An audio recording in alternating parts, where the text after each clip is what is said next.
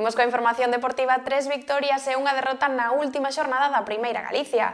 O Puebla, Unión e o Baliño sumaron tres novos puntos, mentres que a Esteirana caeu na súa última visita ao Praíña. Xornada positiva para os equipos da comarca que están no Grupo Costa Santiago da Primeira Galicia. O Puebla mantense en postos de promoción de ascenso logo de vencer nun igualado encontro a golada. O Unión segue esperando o erro dos seus rivais para coasa na promoción e volveu a gañar nesta ocasión o Calo. Asteirana non puido co Praíña, pero Baliño gañou a Bertameráns para seguir afastándose do descenso. O Puebla mantén a pugna co Cordeiro polo segundo lugar tras vencer nun gran encontro a golada. Os do Barbanza non saltaron o verde d'alta alta cos cinco sentidos e antes de cumprirse o cuarto de hora de xogo, a golada púxose por diante. O que agardar o 25 para ver a reacción local que empatou o duelo grazas ao gol de Rubén Ferreiro. Os visitantes volveron a poñerse por diante no minuto 40, pero xusto antes do descanso, Borja Outeiral puxo novamente as tabuas no luminoso. Os dous equipos medían o seu xogo na procura da vitoria e foi o Puebla o que soubo aproveitar a súa ocasión. No 74, Rubén Ferreiro deu a volta ao marcador e a defensa dos pobrenses mantivo 3 a 2 ata o subío final.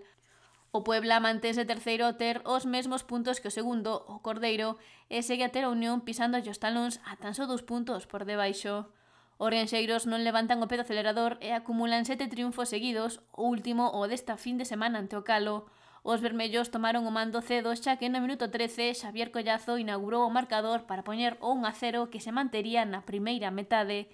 Tres minutos despois de volver do descanso, o Unión ampliou a súa vantaxe Grazas ao tanto de Sergio Neto e no 54 Manuel Quintáns pechou o encontro co 3 a 0.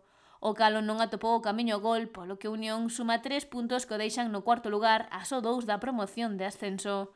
A Asteirana tropezou logo de dúas xornadas de vitorias, o Praíña foi superior ao conxunto Muradán, que se quedou a cero esta fin de semana. Os locais puxeronse por diante no 25 e xa no 33 a diferenza era de dous tantos a cero. O descanso e os trocos non deron os resultados agardados para a Esteirana, que non puido superar a defensa do Praíña, que sentenciou o duelo no minuto 57 co definitivo 3 a 0. Os de Muros pechan a xornada nun décimo lugar e a falta de 4 xornadas contan con 8 puntos de marxe co descenso. E o Baliño vende sumar o seu cuarto triunfo seguido. Os de Cabo de Cruz son decimoterceiros e teñen 6 puntos de colchón coa zona perigosa a falta de 12 puntos por disputarse. Esta fin de semana tiveron que facer un gran exercicio de resiliencia para remontar o encontro e elevarse ao triunfo. Había algúns afeccionados buscando asento cando Berta Miráns abriu o marcador. Foi no minuto 4, tanto que golpeou o baliño. Houbo que agardar o minuto 37 para ver a reacción dos crucenses que chegou nas botas de Felipe Blanco para poñer o 1 a 1.